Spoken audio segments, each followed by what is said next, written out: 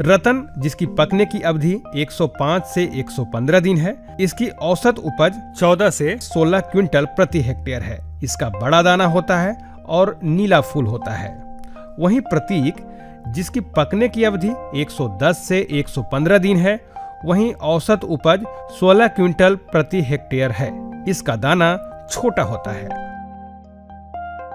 खेसारी की बुआई की बात करें तो धान की कटाई के बाद खेसारी की शुद्ध फ़सल की बुआई 15 अक्टूबर से 15 नवंबर के बीच कर देनी चाहिए।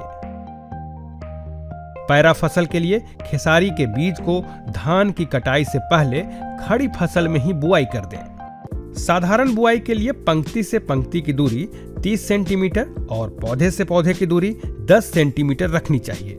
इसके लिए 40 से 45 किलोग्राम बीज प्रति हेक्टेयर उपयुक्त होता है। पैरा फ़सल के लिए 70 से 80 किलोग्राम बीज प्रति हेक्टेयर की ज़रूरत पड़ती है। बीज जनित रोगों से बचाने के लिए बुआई के एक दिन पहले थीरम या कैप्टॉन ढाई ग्राम या कार्बेंडाजिम दो ग्राम प्रति किलो बीज की दर से उपचारित कर लेना चाहिए। इसके पश्चात बीजों को राइजोबियम से भी उपचारित कर लेना चाहिए।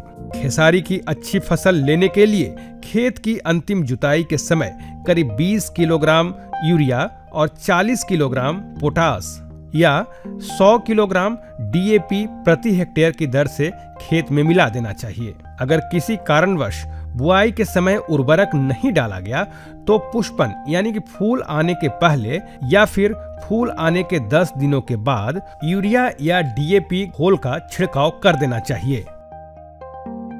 खेसारी में साधारणतया सिंचाई की आवश्यकता नहीं पड़ती है। लेकिन अत्यधिक नमी की कमी हो जाए तो ऐसी स्थिति में 60 से 70 दिन के बाद एक सिंचाई कर देनी चाहिए।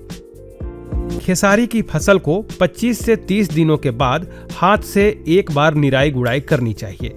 अत्यधिक खरपतवार की समस्या होने पर पेंडा मिथालीन 30 ईसी की तीन लीटर मात्रा प्रति हेक्टेयर की दर से बुआई के उपरांत अंकुरण से पहले छिड़काव करनी चाहिए।